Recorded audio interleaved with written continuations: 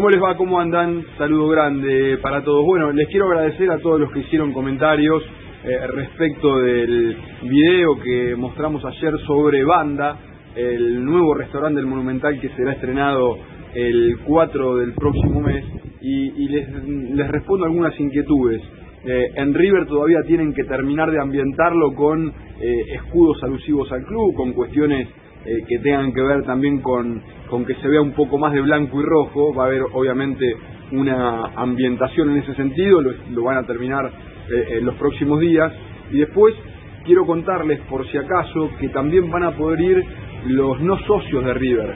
Se va a poder ingresar por la avenida Figueroa Alcorta y el que no es socio de River también va a poder asistir al restaurante que, como les dije ayer, va a estar abierto de 9 a 2 de la mañana todos los días y que los días en los que River juegue partidos se va a poder acceder al restaurante en la modalidad de hospitality.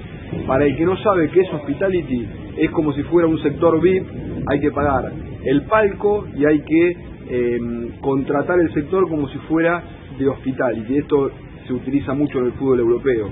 Es decir, saldrá obviamente bastante más caro ver un partido de River desde ese sector, ¿sí? Pero, pero se va a poder ver un partido desde esa parte del estadio monumental. Ahí sí, los días de partido, se necesita eh, seguramente, eh, a ver, no exclusivamente ser socio, porque uno puede eh, ir a un palco sin la necesidad de ser socio, puede ir invitado también, pero eso se paga de manera aparte, ¿sí? El hospitality se pagará como un VIP de manera eh, extra a lo que es la entrada del partido y demás. Eh, y lo que piensan los dueños de la concesión es poner precios que sean, eh, no digo económicos, pero sí razonables, que pueda ir todo el mundo, ¿no? Que sea un restaurante exclusivo para eh, gente con em, gran poder adquisitivo. No, la idea es que puedan ir todos los hinchas. Así que bueno, todavía los precios no están, el tema de la devaluación del peso argentino hace que todavía no los hayan determinado, pero en los próximos días van a determinar cuánto de cuánto serán los valores en la carta de banda. Bueno, ahora me meto en el partido del domingo, River debuta en la Copa de la Liga frente a Argentinos en la Paternal y bueno, la primera noticia que quiero darles es que hoy quedó descartado Leandro González Pires porque tiene una inflamación en la planta del pie izquierdo que le genera muchas molestias. Es una lesión crónica eh, que en el último tiempo le había permitido jugar, pero que ahora, después del choque contra el Inter en Porto Alegre, le generó muchas dificultades, mucho dolor. Por eso hoy volvió a practicar de manera diferenciada, al igual que desde el arranque de la semana. Por eso González Pires no podrá estar y por eso se perfila la siguiente dupla central para enfrentar al equipo que dirige Gabriel Milito. Emanuel Mamana con Ramiro Funes Mori que debutaría en el lugar del chileno Paulo Díaz.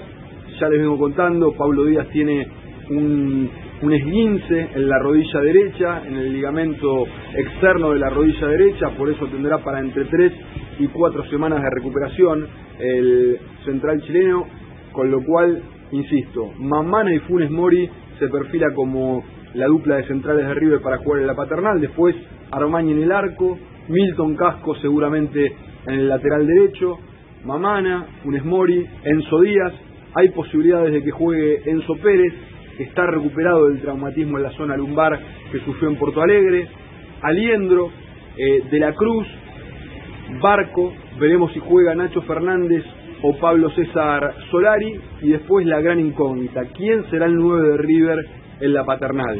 Rondón, Borja, Colidio, que fue el único de los tres que entró en el segundo tiempo en el Beira Río frente al Inter por la Copa Libertadores, todavía no entregó pistas Martín de Michelis, veremos qué termina decidiendo el técnico de River para un partido que seguramente será exigente y en el cual River tendrá un desafío muy importante, empezar a ganar más seguido fuera del Monumental, porque fuera de, de Núñez, fuera del Monumental, River de los últimos 10 partidos que jugó, ganó solamente uno contra Banfield.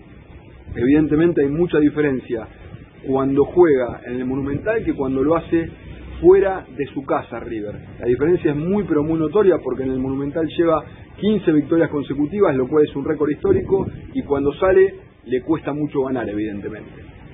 En cuanto al mercado de pases, quiero contarles que River no se retiró del mercado, que está buscando un marcador central, que hay charlas nuevamente con Defensor Sporting por Sebastián Boselli, eh, el juvenil que fue campeón mundial sub-20 con el seleccionado de su país. Eh, veremos qué termina ocurriendo, pero River está tratando de conseguir para este mercado de pases a un marcador central. Si no lo llega a lograr en este, van a hacer el intento. Para el próximo eso será una fija, al igual que el puesto de lateral derecho y el puesto de arquero. River, ante la incertidumbre sobre si Armani va a seguir atajando en el club el año que viene, ustedes saben que hay rumores de que el Inter Miami, que en el que juega Messi, se lo podría llevar. Eh, ante el deseo que tiene Atlético Nacional de Medellín de repatriarlo lo antes posible, no se sabe qué va a pasar con Armani, que tiene contrato con River hasta diciembre de 2024, y ante esta incertidumbre respecto del futuro del arquero, bueno, eh, el cuerpo técnico y la, y la dirigencia ya ponen la mira en buscar a un número uno, a un arquero de primer nivel, que tenga jerarquía y que además tenga el valor agregado de ser especialista en penales, por esto que les decía ayer. River perdió siete de las últimas nueve series que jugó y bueno, eh, quieren empezar a, por lo menos, a tratar de achicar el margen de error con un arquero, con un arquero que tenga este valor agregado de ser especialista en los disparos desde los 12 pasos. Eh, bueno, ¿qué les parece a ustedes este tema de Armani? Que sé que genera mucha polémica. Eh, en River no es que duden de Armani, ¿eh?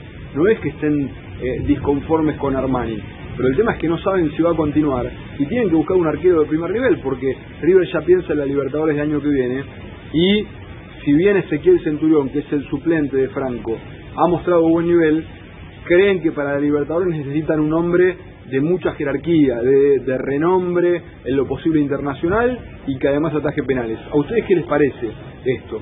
¿Les parece razonable? Eh, los quiero leer, los quiero leer aquí en mi canal de YouTube porque siempre es interesante este ida y vuelta que tenemos eh, frecuentemente. Pero insisto con esto, en la medida de lo posible, River a un marcador central, a un primer marcador central, a un número dos, lo quiere intentar contratar para este mercado de pases. Por último, y para ir cerrando este programa de hoy, quiero contarles que en la práctica de hoy los jugadores en un momento tuvieron que ir casi a las corridas al gimnasio porque comenzó a caer granizo en Ezeiza, entonces eh, la práctica que se desarrollaba en el campo de juego pasó a realizarse en el gimnasio justamente por la caída de granizo. Em, se entrenaron de manera diferenciada, como les dije, González Pires y Paulo Díaz. Em, ya no forman parte del plantel de River Elías Gómez ni Paradela, Elías Gómez porque es jugador de, Vélez que compró la mitad del pase en alrededor de un millón de dólares y en el caso de José Paradela porque se fue a préstamo a Tigre eh, por un año con posibilidad de repesca en enero y el que hoy se despidió del plantel de River es Robert Rojas que practicó con el grupo pero que esta tarde firma su contrato con Tigre y ya desde mañana se suma al equipo de Victoria. Bueno, los quiero leer con la consigna que les decía respecto del tema Armani y la búsqueda que tendrá River de un nuevo arquero para el mes de enero. Los leo aquí en mi canal de YouTube y les agradezco. Ya estamos cerquita de los 30.000, ¿eh? 30.000 suscriptores, así que los que no están suscritos, los invito a que lo hagan aquí en mi canal. Saludo grande para todos. Gracias como siempre, ¿eh? Chau, chau.